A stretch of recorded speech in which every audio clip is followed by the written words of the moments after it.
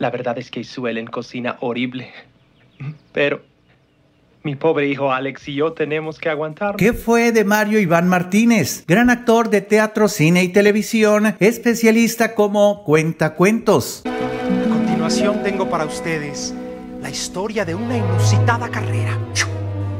Su nombre completo es Mario Iván Martínez Morales. Nació en la Ciudad de México el 3 de febrero de 1962. Su madre fue la primera actriz Margarita Isabel y su padre el locutor radial Mario Iván Martínez Ortega. Desde pequeño se crió sobre las tablas y los reflectores, pues veía a su madre mientras trabajaba y sería precisamente ella quien le contagió el entusiasmo por estar sobre el escenario. Una de sus primeras impresiones sobre lo fascinante del mundo del espectáculo fue cuando vio a su mamá representar el personaje de Titania, la reina de las hadas, en la obra de teatro Sueño de una noche de verano de Shakespeare. Se inició como niño actor de la radio casi de manera fortuita, pues mientras acompañaba a su mamá necesitaban a un niño, siendo él el elegido. Su primer papel profesional se dio cuando tenía nueve años en la obra Pedro y el Lobo, y aun cuando su padre se oponía a que se dedicara a la actuación, ese fue un aliciente para Mario Iván, quien dio todo de sí para demostrarle a su padre que su lugar estaba arriba del escenario. Posteriormente trabajó en la obra Cenicienta que produjo su mamá, donde dio vida al príncipe. El presidente Luis Echeverría quedó encantado con la inteligencia de la actriz y locutora, ordenando que se le triplicara el sueldo en la emisora estatal donde trabajaba. Fue con ese dinero extra que Margarita decidió enviarlo a estudiar a Inglaterra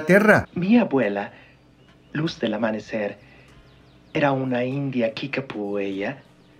En ese momento y luego de haber quedado sorprendido con la polifonía inglesa, audicionó para ingresar al coro de la escuela donde estudiaba. Cuando Mario Iván regresó a México, realizó estudios de actuación con reconocidos maestros como Sergio Jiménez. Con 23 años tomó la decisión de regresar a Inglaterra para realizar estudios de canto y actuación, pero esta vez bajo el auspicio del Consejo Británico, especializándose en la obra de Shakespeare y en la interpretación de la música del periodo isabelino inglés. A su regreso a México, debutó en el cine y la televisión. Su primer proyecto se dio en la película Don't Panic o El secreto de la Ouija de 1988. Dos años después trabajó en la telenovela Teresa de 1989. En 1992 actuó en la película Como agua para chocolate, ganando un Ariel por mejor actuación masculina. Diez años después sería nominado nuevamente a un premio Ariel por su participación en la película La habitación azul. Otras de las cintas en que ha trabajado son La hija del caníbal, Héroes verdaderos, Suave patria, Cantín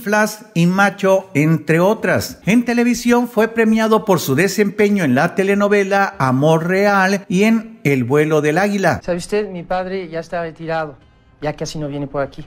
Así que, ¿qué se le ofrece?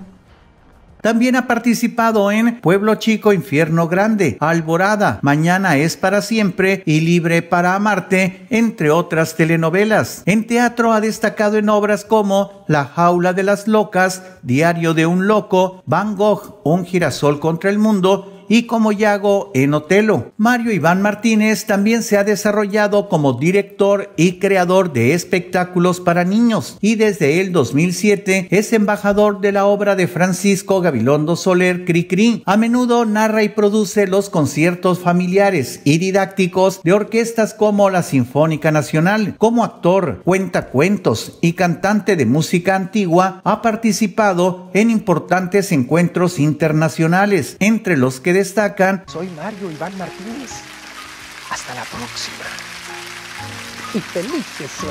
La Feria del Libro de Edimburgo en Escocia y la gran exposición sobre los aztecas en la Real Academia de las Artes en Londres, entre otros. Durante la pandemia de COVID-19, adaptó varios espectáculos familiares al esquema digital de streaming, entre los que se cuentan dos homenajes a Francisco Gabilondo Soler Cricri, ¿Qué me cuentas Don Quijote? En Día de Muertos, puros cuentos y cuento de Navidad. De manera complementaria, propició una serie de 100 cápsulas de video cuento que lleva por título Desde la distancia contando con mis amigos, la cual distribuye en su sitio de YouTube y en A Soñar Despiertos, su página familiar de Facebook. En el periodo de reclusión mundial, concretó la escritura de Vincent, Girasoles contra el Mundo, biografía y dramaturgia sobre Van Gogh, así como De Nidos, Estrellas y Girasoles, cuento infantil sobre la infancia del pintor neerlandés. Otros de los títulos que ha publicado son De Niñas, Disfraces y un soneto, La infancia de Sor Juana Inés de la Cruz, así como Huerito de Rancho, anécdotas de un niño actor mexicano, donde relata su historia en la actuación. Actualmente con 52 años de trayectoria y 61 años de edad,